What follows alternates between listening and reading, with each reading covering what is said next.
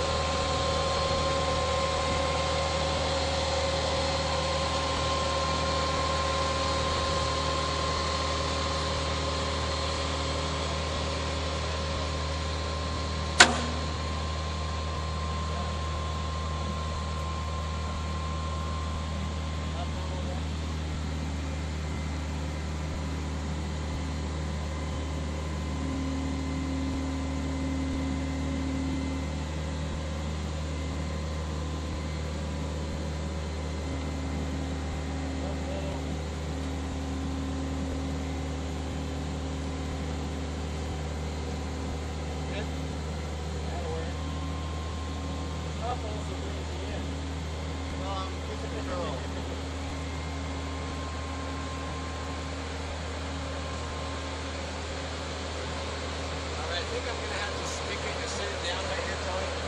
And keep kind of booming out a little bit until I'm at max.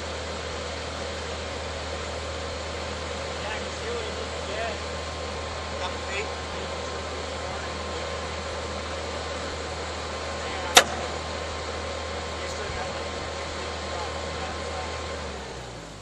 Alright, let me uh